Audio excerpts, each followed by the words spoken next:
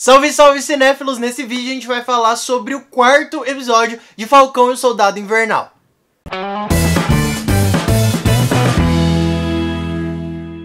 Se você tá curtindo os vídeos do canal, não se esquece de já se inscrever e deixar uma curtida. Esse, de longe, foi o episódio mais chocante e pesado até agora. Inclusive, eu posso é, falar que até da história da Marvel. Porque, né, aquela cena final foi brutal e é uma coisa que não é tão comum nos filmes da Marvel. Tô com esse moletom maravilhoso que o Disney Plus me mandou e eu vou mostrar pra vocês. Ó, se liga, veio essa caixa gigantesca. Olha aqui. Muito grande mesmo. E aí dentro veio esse moletom, Falcão e Soldado Invernal, que é escrito Disney Plus. E olha atrás, Vou mostrar pra vocês. Cara, lindo demais, lindo demais. E veio também essa agenda. Deixa eu ver qual que é a parte aqui. Ó.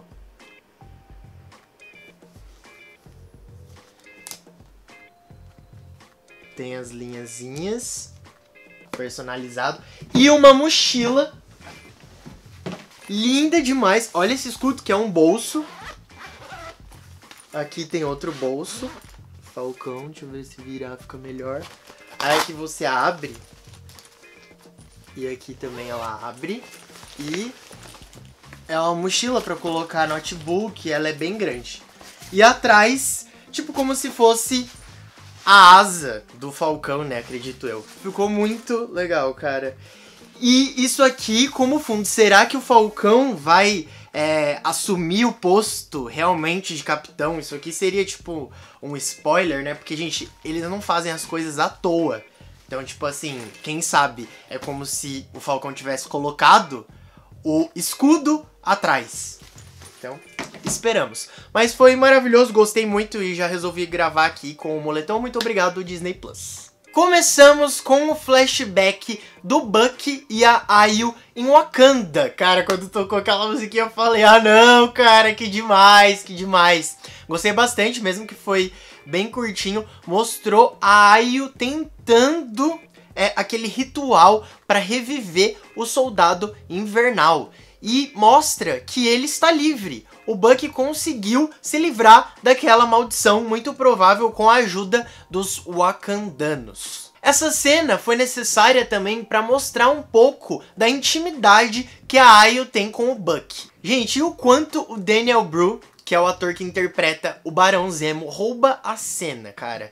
Em todas as cenas que ele aparece, é muito diversificado, é muito variado. Ele rouba totalmente a cena ele ali se torna o protagonista perante o Buck e o Sam, que são personagens mais tímidos, digamos. E o Barão Zemo, ele gosta de aparecer, ele é um personagem que por mais que seja um vilão, né, ele é muito carismático. E, gente, aquela dancinha dele no episódio anterior rendeu muito pra Disney, né, foi o comentário da semana e inclusive eles soltaram que aquilo foi um improviso do ator e que ele nem imaginou que iria é, ser, aparecer no episódio, né? Ele não, não imaginou que apareceria naquele episódio daquela forma. Uma coisa interessante dessa série, e que eu acredito que as obras estão fazendo cada vez mais, é explorar o lado do vilão, as motivações do vilões, para não ser simplesmente uma coisa de é, infantil, tipo assim, ele é mal, ele é o vilão e pronto, aparece pouco. Não, então por exemplo, o caso da Carly, ela mostra muito mais a personagem nesse episódio, mostra mais as motivações dela, aquela conversa do Sam com ela foi muito importante, mostra mais o lado do porquê ela tá fazendo aquilo. Então, tipo assim, é, é muito bacana ver a humanização desses vilões e não simplesmente assim, ai, eles são maus e pronto, acabou por aí.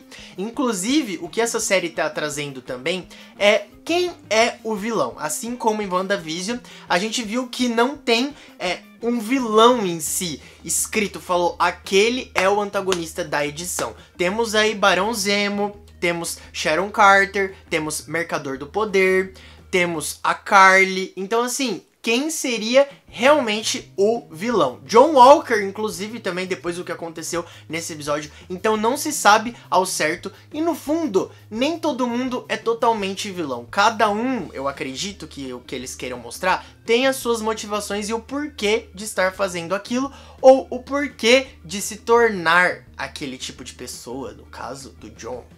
Sem dúvida, uma das cenas mais incríveis do episódio foi a batalha das Dora Milajes, que são as guerreiras de Wakanda contra os meninos. Os meninos, porque eu digo, todos eles estavam ali. E o quanto o John Walker se sentiu inferior. Então, eu acredito que aquela ba batalha foi para mostrar também a motivação dele para tomar o soro. Porque ele deve ter pensado, tipo assim, o que a gente entendeu do episódio, né? Nossa, se elas, que por mais que sejam guerreiras, é, não têm poderes, se eu não consigo derrotar uma, o meu adversário que não tem poderes, imagina os que têm poderes. Então, assim, quem sou eu? Sou muito fraco. Isso que deve ter frisado ali na cabeça dele. E foi uma motivação para ele tomar o soro. Tanto que depois ele tem aquela conversa com o Lemar e a gente vê que ele tá destinado àquilo. Ele quer tomar o soro. E ele até é, questiona o Lemar. É, sobre isso. Se ele tomaria o soro, o Lemar fala que com certeza tomaria. E ele ainda frisa que o soro só é, mostra quem a pessoa realmente é, tipo, o caráter da pessoa. Ele cita o Steve e a Carly como exemplo. O Steve era uma pessoa boa e se tornou um herói. E a Carly, por exemplo, era uma pessoa ruim e se tornou uma vilã. Isso mais ou menos que ele quis dizer. Então ele deu a entender que você tem medalhas de honra, você é um soldado, você vai se tornar um herói. Então isso só incentivou o John a tomar o soro.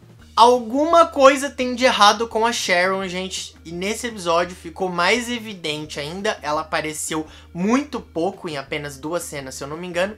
Mas assim, a gente vê que ela tem um poder, mostrou no episódio passado, que ela controla as artes, né? Do mundo, digamos, ela contrabandeia, enfim, ela ganha dinheiro em cima de artes e a gente vê que ela tem um pleno poder ali em Madripoor. Quem ela realmente está sendo, a gente não tem tanta certeza. Talvez ela trabalhe para o mercador do poder ao invés de ser o mercador do poder. Eu acredito que possa ser essa teoria e a gente fica tentando teorizar sobre isso, porque a gente não tem as respostas. Igual em WandaVision, a gente não tinha e ficava teorizando. Só que em WandaVision tinha coisas muito pequenas. Tipo, uma coisa às vezes na parede significava alguma coisa. Já em Falcão e Soldado Invernal não é tão assim. As coisas são mais fixas. A gente consegue entender muito melhor o episódio sem ter muitas coisas, camadas por trás. E como esse episódio focou bastante no Lemar até, principalmente na parte que ele tava acorrentado ali, acorrentado não, amarrado, né? Então eu imaginei que ele poderia morrer.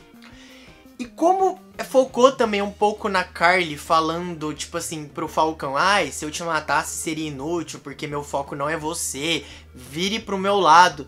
Então eu pude imaginar que ele morreria, mas só naquele momento que ele tava algemado. E aí naquela cena ali da luta, eu falei, hum, ele tava com muita sede ao pote pra, pra lutar contra a Carly, e a Carly deu um soco nele e ele acabou morrendo.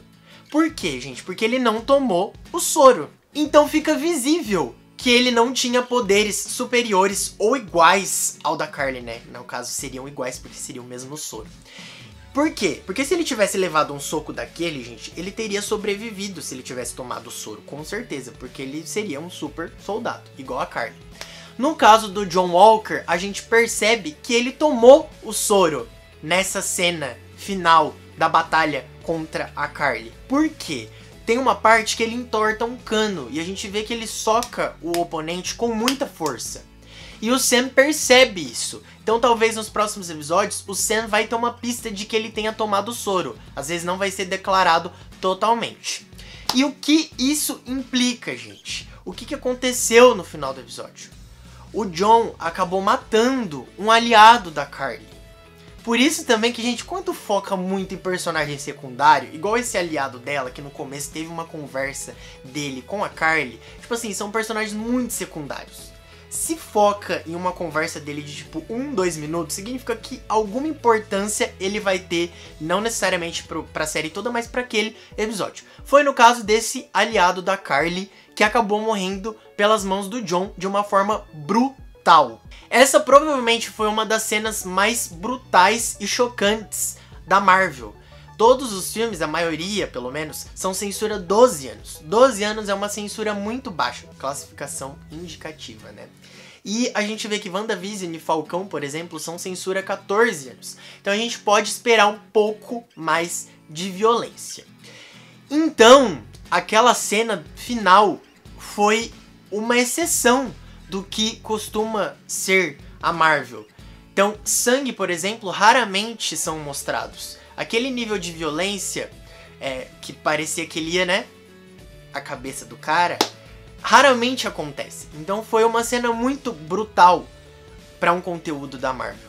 Eu achei muito interessante para mostrar o lado do John. Por mais que ele tenha sido motivado pelo ódio ali de ter visto o seu companheiro, seu fiel amigo sendo morto brutalmente, do nada, a Carly deu um soco nele e ele morreu, cara.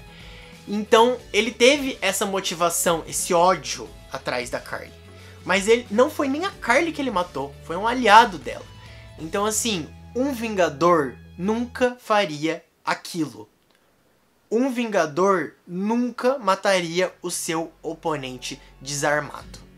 Por isso que ele não serve claramente para ser um vingador, cara. E isso vem deixando muito claro todas as ações dele e como o personagem não é tão simpático, a série já dá a entender, tipo assim, vocês têm que odiar o personagem.